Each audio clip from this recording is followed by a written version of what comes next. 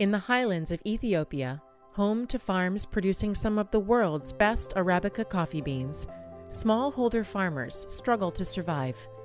Their crop may attract premium prices in cafes across the U.S., but these farmers receive just a small fraction of the price paid for a cup in a downtown restaurant. Their average income? Just $620 per family per year. So, how do you make the world's coffee supply chains a little fairer for the farmers who grow these beans? Our special project tonight will do just that by boosting prices using blockchain technology while also helping to lift the productivity of these small Ethiopian coffee farms.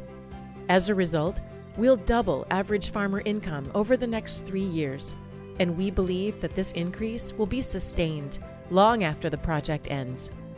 Teaming up with a Dutch coffee company, Moyee, will work with farmers in Ethiopia's southwest Oromia region. It's here, at altitudes above 1,500 meters, that we can source coffee grown without the use of chemicals or machinery, resulting in half the carbon footprint of regular coffee. This coffee is grown, roasted, and bagged in Ethiopia, supporting more local jobs.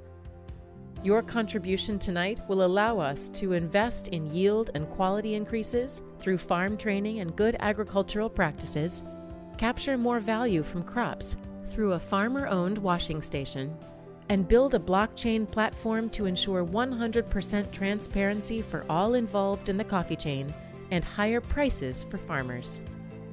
When you drink this coffee, you'll know where it came from and how much the farmer was paid for it, thanks to blockchain.